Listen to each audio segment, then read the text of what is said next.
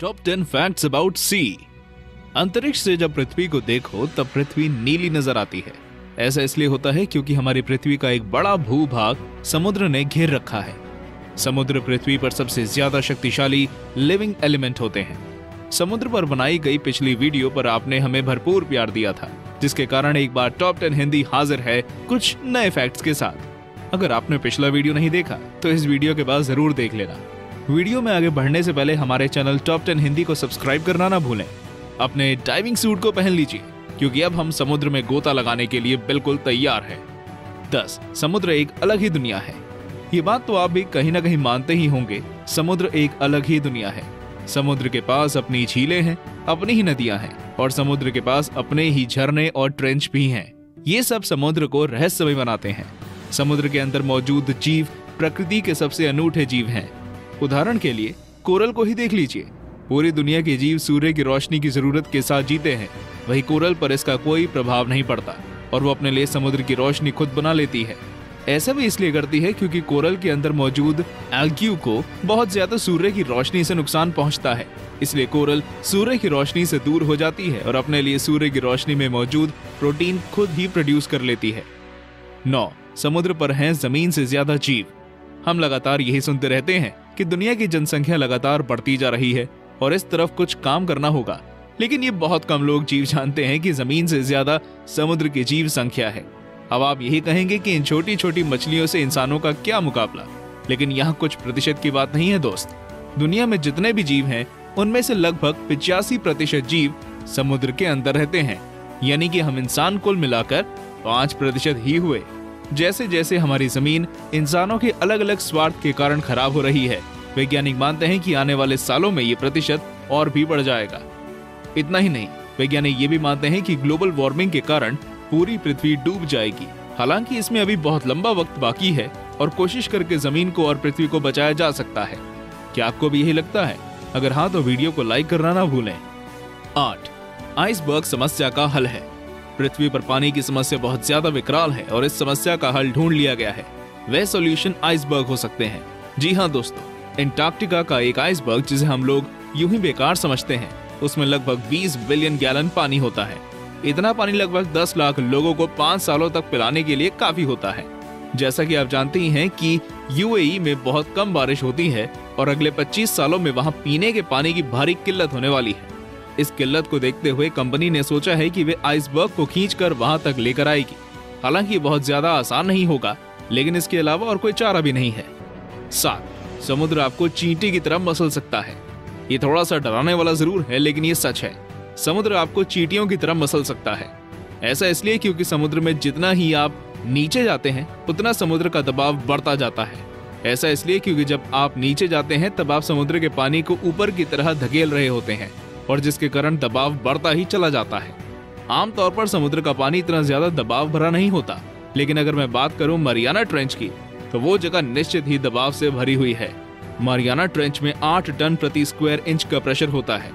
इतना प्रेशर दस इंसानों के बंडल को भी आसानी से टुकड़ों में बदल सकता है। ये मारियाना ट्रेंच का सबसे खतरनाक पहलू है। हालाँकि हम इसके बारे में आगे और भी बात करेंगे। छह, समुद्र में इंटरनेट। अब आपको लगेगा कि मैं ये क्या कह रहा हूँ। भला समुद्र में इंटरनेट कैसे हो सकता है? लेकिन दोस्तों, ये सच है, पूरी तरह से सच। समुद्र में इंटरनेट मौजूद है। भले ही वहाँ पर उसका एक्सेस ना हो और अगर हुआ भी तो आप कौन थोड़े ही समुद्र में इंटरनेट चलाने जाओगे? समुद्र में इंटरनेट भले ही ना हो, लेकिन दुनिया भर में समुद्र के कारण ही इंटरनेट का एक्सेस है। ऐसा इसलिए क्योंकि इंटरनेट के तार समुद्र के ज़रिए ही दुनिया भर के हिस्सों में पहुँचे हैं। एक company Asia Pacific economic corporation की अगर माने तो ओवरसीज कॉन्वर्सेशन का लगभग सत्तानवे प्रतिशत हिस्सा इन केबल्स के कारण ही हो पाता है। अगर ये केबल्स ना हो तो हम दूसरे देशों में होने वाले क्रिकेट मैच का मज़ा शायद ही ले पाएँ। पाँच, सबसे तेज समुद्री आवाज़। अब तक सुनी गई सबसे तेज समुद्री आवाज़ उन्नीस में आई थी।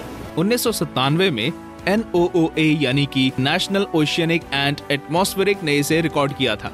उन्होंने इसे नाम दिया था द ब्लू एनओओए के मुताबिक ये साउंड इतना ज़्यादा शक्तिशाली था कि इसे लगभग 3000 मील दूर से भी सुना जा सकता था।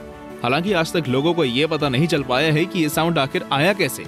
कुछ वैज्ञानिकों को लगा समुद्र में किसी बड़े जानवर के कारण ऐसा हुआ था, लेकिन समुद्र में इतना बड़ा जानवर कोई है ही नहीं। कुछ वैज्ञानिकों को लगा कि ये समुद्र में किसी ज्वालामुखी के फटने के कारण आया था, और कुछ वैज्ञानिकों ने हमेशा की तरह एलियंस की तरफ़ निशाना साधना शुरू कर दिया। हालाँकि सारी थ्योरीज आगे चलकर गलत साबित हुई, और जो खुलासा हुआ, वह हैरत में डालने वाला था। इतना भयानक साउंड एक आइस क्वेक के कारण हुआ था। आइस क्वेक एक घटना को कहा जाता है जब आइसबर्ग अपने सोर्स से टूट जाता है। चार सुनामी और ज्वालामुखी। सुनामी और ज्वालामुखी के बारे में तो आप अच्छी तरह से जानते ही होंगे। इनसे पृथ्वी पर लोगों का जनजीवन प्रभावित होता ही रहा है। आपने पृथ्वी पर फटने वाले कई सारे ज्वालामुखी के बारे में सुना होगा। लेकिन दोस्तों, क्या आप जानते हैं, पृथ्वी से ज़्यादा समुद्र ज्वालामुखी से होने वाली घटनाओं का केंद्र है। समुद्र के अंदर बहुत सारी ज्वालामुखी से जुड़ी घटनाएँ लगातार होती रहती हैं। एक सोर्स के मुताबिक पृथ्वी पर होने वाली लगभग 90 प्रतिशत वॉल्केनोज वाली घटनाएँ समुद्र के अंदर होती हैं, और इनका एक बड़ा हिस्सा दक्षिणी पैसिफिक ओशियन में होता है। वहाँ पर एक जगह है जो न्यूयॉर्क से ज़्यादा बड़ी नहीं है, लेकिन उस जगह पर लगभग 1130 वॉल्केनोस एक साथ लाइन से लगे हुए हैं। इसे दुनिया की सबसे खतरनाक जगहों में से एक गिना जाता है। क्या आप वहाँ जाना चाहेंगे?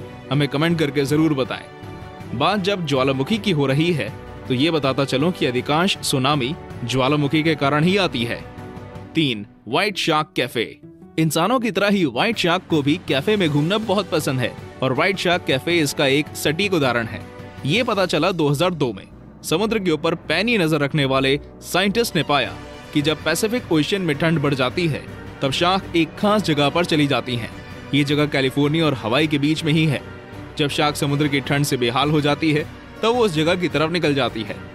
वैज्ञानिकों ने देखा कि शार्क वहाँ आराम के लिए जाती है, इसलिए उन्होंने उस जगह का नाम व्हाइट शार्क कैफ़े रख दिया। आपको क्या लगता है उस जगह का क्या नाम होना चाहिए था? हमें कमेंट करके ज़रूर बताएँ। इंसानों की तरह ही शार्क भी जल्दी ही वेकेशन से आ जाती है, जब किनारों पर गर्माहट बढ़ जाती है। दो, दुनिया का सबसे बड़ा झरना। दुनिया का सबसे बड़ा झरना कहाँ मौजूद है? सोचिए सोचिए, दिमाग पर ज़ोर डालिए। अगर आपका जवाब वेनेजुएला का एंजल वाटरफॉल है तो आपका जवाब गलत है।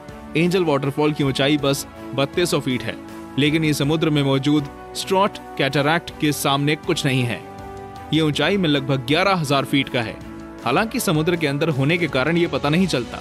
इसका निर्माण अलग अलग तरह के तापमान के कारण हुआ। इसके गिरने और बनने वाली जगहों का तापमान अलग अलग है और इस कारण से गिरता है। ये अपने तरह का अनूठा वाटरफॉल है। इस वाटरफॉल के गिरने की दर लगभग 123 million cubic feet per second है। जो कि विशाल का नाइग्रा फॉल से लगभग पचास हज़ार गुना ज़्यादा है। समुद्र में ऐसा बहुत कुछ है जो कि आपको हैरत में डाल सकता है, लेकिन वो अब तक पानी के अंदर होने के कारण छुपा हुआ है। एक, रहस्यमय मरियाना ट्रेंच। अब मैं आपको जो बताने जा रहा हूँ, उसे सुनकर आपके होश उड़ जाएँगे। मरियाना ट्रेंच जो कि समुद्र का सबसे गहरा स्थान है। वहाँ पर आज तक इतने लोग भी नहीं गए जितने की चाँद पर जा चुके हैं। जी हाँ दोस्तों, हमारा मरियाना ट्रेंच, जो कि हमारी पृथ्वी पर ही मौजूद है चाँद से भी ज़्यादा अनसुलझा है। चाँद पर अब तक लगभग एक दर्जन से भी ज़्यादा लोग जा चुके हैं, लेकिन मरियाना ट्रेंच में गिनती के तीन लोग हैं जिन्होंने जाने की हिम्मत दिखाई है। आप इस बारे में शुरुआत में जान चुके थे कि मरियाना ट्रेंच में परिस्थितियाँ कितनी खतरनाक हैं। मरियाना ट्रेंच की लंबाई लगभग 2540 किलोमीटर है और ये लगभग उनहत्तर किलोमीटर चौड़ा इलाका है। ये तो बस इसकी ऊपरी सतह की बात है। अंदर ये और भी ज़्यादा विशाल है। इसकी गहराई लगभग दस हज़ार आठ सौ नौ मीटर दर्ज की गई है।